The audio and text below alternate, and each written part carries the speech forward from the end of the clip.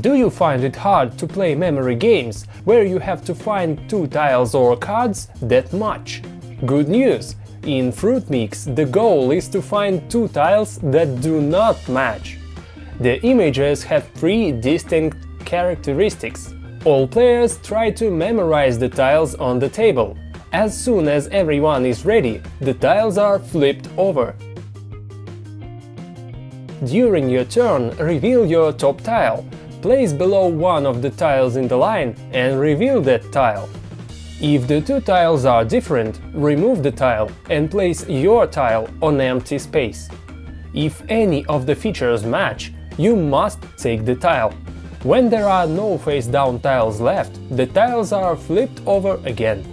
The player who got rid of all his tiles wins the game. Get energized with this bold and brainy game.